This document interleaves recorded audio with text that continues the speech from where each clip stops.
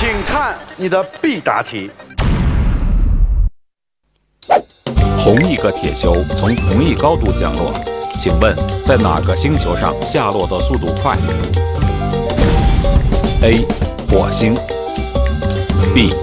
地球 C. 一样快。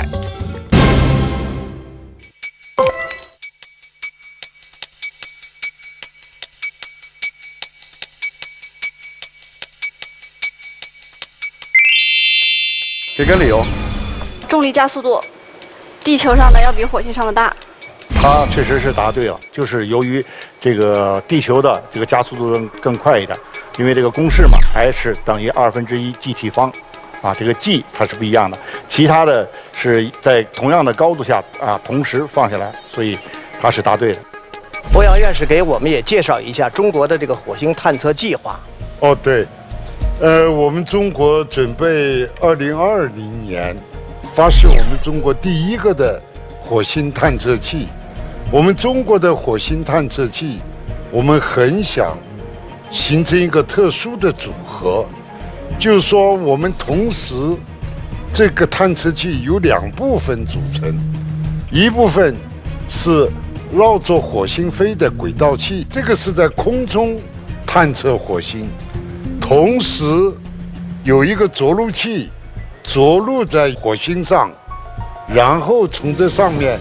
走下一辆火星车来，那么火星车呢，在走到呃火星表面以后，一面走一面探测，最后形成一个什么格局呢？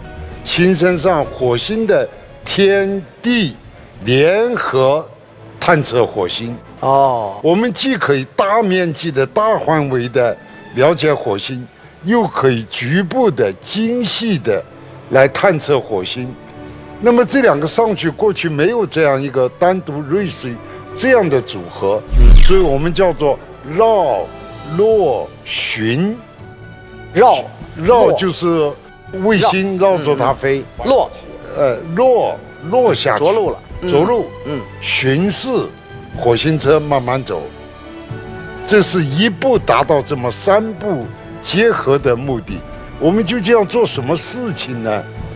当然了，你到火星去，首先你得做出一张火星地图来。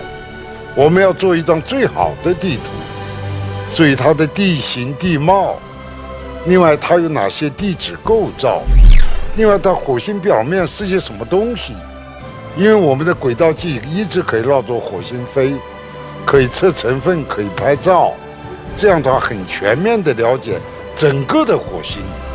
我们将在我们中华民族伟大的第一个一百年到来的时候，我们将奉献出我们中国首次火星探测的成果。谢谢谢谢，谢谢，谢谢，好，所以这道题呢，正确答案是 B。恭喜深山飞羽队答对，加二十分。